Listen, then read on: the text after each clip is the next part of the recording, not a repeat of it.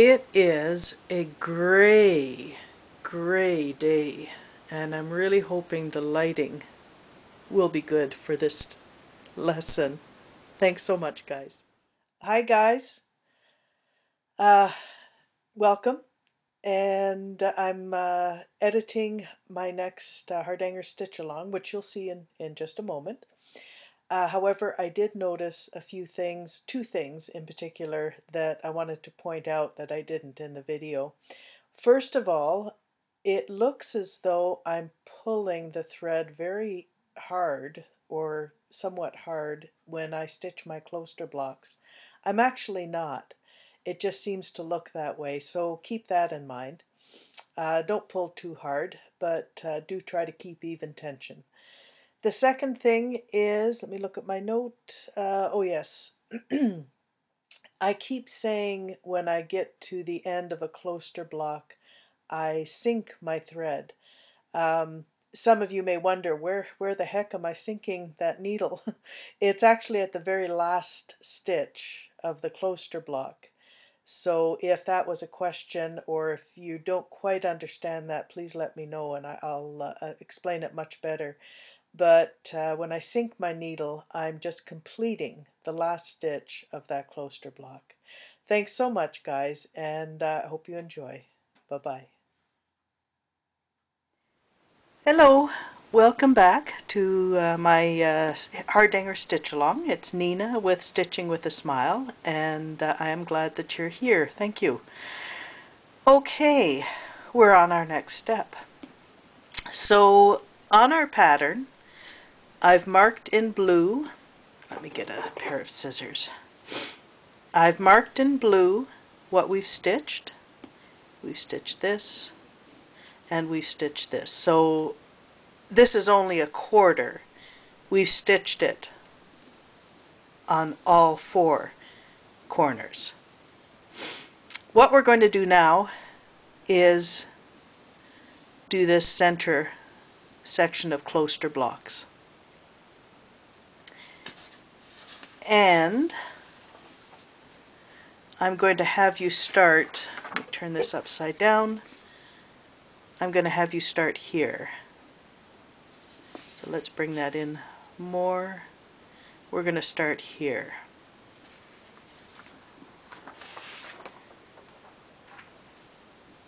Again, the same thing. We're going to come up at the uh, dot, go down at the arrow, up and down, up and down. Same as all our other kloster blocks, up and down, and then come up here and go down. Remember, we're sharing this hole. So same as all the other kloster blocks. There will be 26. So let me show you quickly what I've done. I went ahead and redrew this on uh, smaller graph paper so that we could get the whole thing in. So the first thing we're going to do, let me turn it this way, you can see it there, is we're going to start at this one and we're going to stitch all the way to the other end. And then we can start at this one. Actually, we can just turn it and start at this one, it'll look exactly like the other and stitch all the way to the end. There are 26 of these kloster blocks, not including what's out here. It's just the interior kloster blocks. There are 26 of them. So let's do that together. I'll get you started. I'll stitch and then we'll come back so that we can see the ending and start the next one. This is where we're going to start. Let me bring this down so you can see. It's this area we're going to do the line of kloster blocks going up here. Once again, um, we could do a waist knot, but let's take advantage of these kloster blocks and actually uh, put our threads behind these. This is where I'll be coming up. So I think I'll put my threads behind those so that I can come up here. Let me turn this over and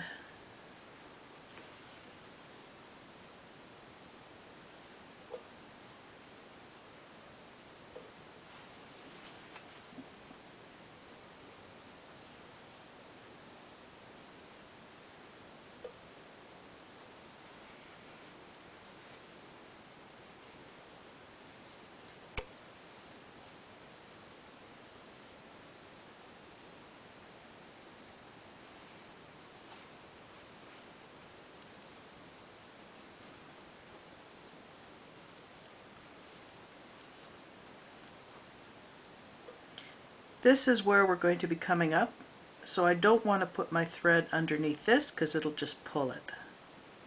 So I just came out here.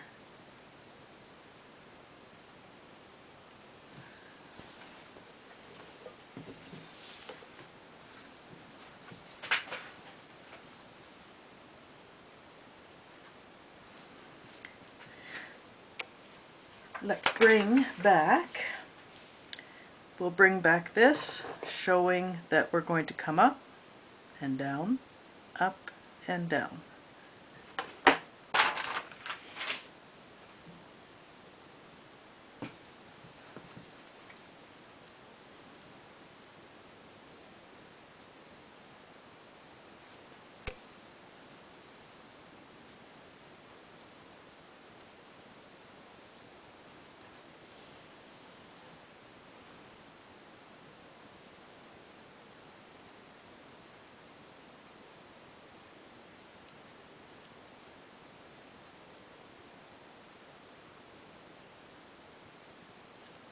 I done something wrong?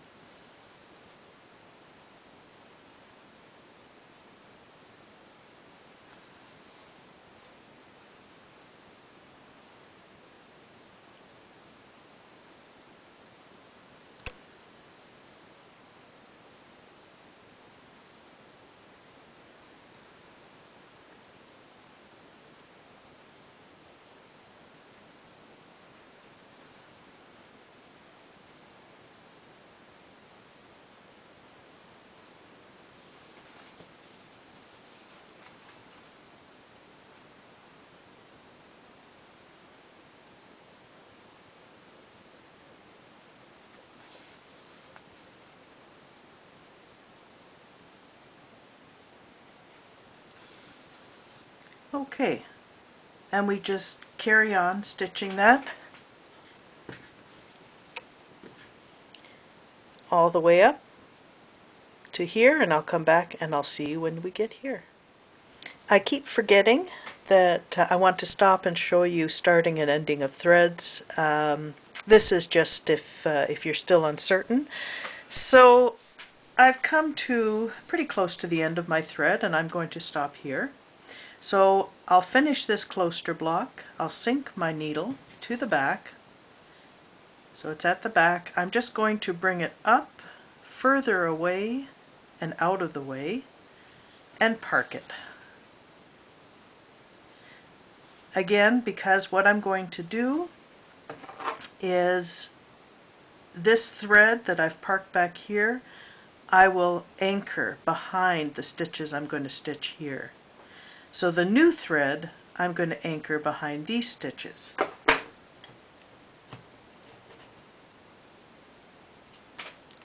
So let me bring out the back, anchor my thread,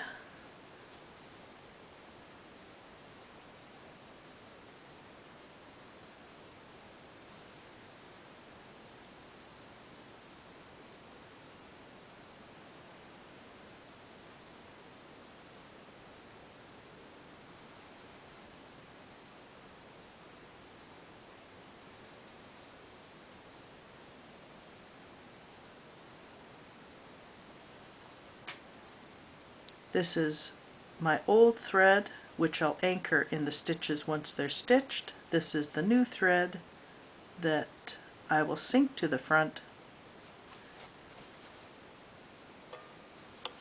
and carry on stitching. I'll see you when we get here. So I did all 26 blocks and if you remember that does not include this first one or the last one it is just 26 counted in the middle. And really you don't need to count because you're starting here and this will stop you. One thing I wanted to point out was um, with my, I don't know if this is considered variegated or over dyed, um, I don't pay attention to where the color starts or stops. I just start stitching. and I don't think you can really tell. So for instance, I started stitching here so this was one thread going all the way up. I stopped on this kloster block and finished this kloster block. This was the next kloster block that I started with the new thread. And yes, it's a different color from this, but it really blends in because even if you look further up, it, it just blends right in. So I don't really pay attention to my colors, I just go ahead and stitch. Now, we did this. Let me get my pattern back out here. Let me find it here. Okay. So, we did this, we started here on this kloster block and we stitched that. So in order for this to look exactly the same on this side, I just turn it around. This is the one we did. This is the new one and it looks exactly the same. And we will stitch this one up. I've already secured my thread. Just turning my work. And I'm going to start here and it'll be exactly as we did this one. So I'll do this and I'll come back. Okay, so we've stitched the two full ones. Turn your fabric so that you're starting again at the same kind of spot, which makes it easy to remember how to stitch. And you're going to start stitching this way. And this way will be a little bit different in that you will stitch from here to here, you'll have to go underneath, and then from here to here, underneath, and then from here to here. I'll show you once we once we get there. On the pattern, let me turn it so that uh, it's facing.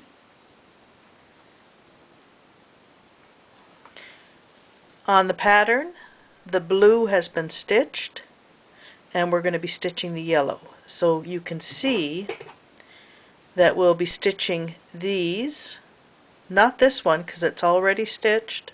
We'll stitch these, again, not this one, and these. And then turn your fabric and do it one more time. But I'll come back. Okay, so again to orient you, I've started here, I'm coming up, and I'm on the last kloster before this one. Let me finish that with you.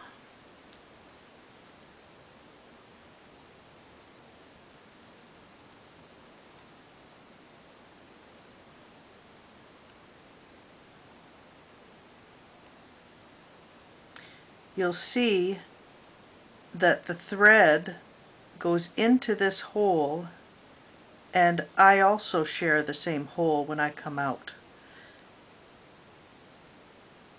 So this thread's going in and this thread is in there as well.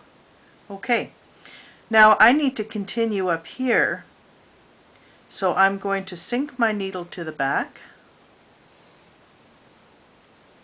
I'm going to turn my work and all I'm going to do is go underneath that kloster block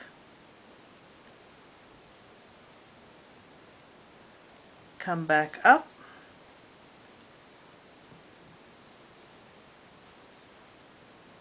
and continue on. So you do want to make sure that you're going to be going in the right direction with your kloster block. This one, in this case, is going, what is that, uh, horizontal.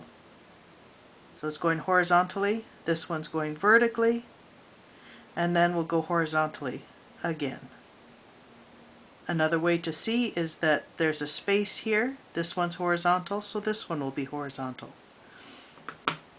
Let me stitch it just so you can see. And that's really the only thing you want to be very careful about is the way, in, in this, what you're doing here, is in the way the um, stitches are. That there's a 90 degree, we've got stitches going, oh, I keep forgetting, vertically and stitches going horizontally.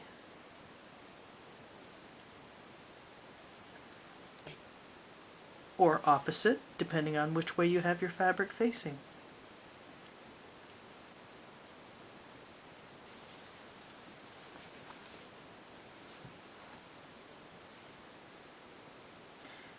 Okay.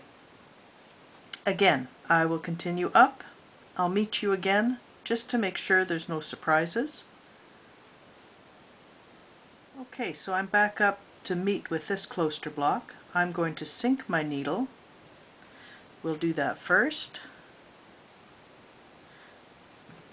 We're going to flip our fabric.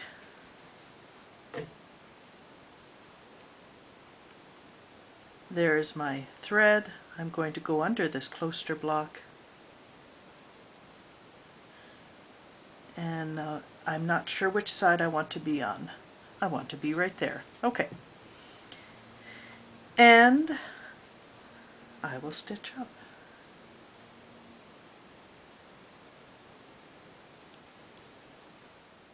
Okay, so we've stitched up here we went underneath these stitches at the back. We stitched up here.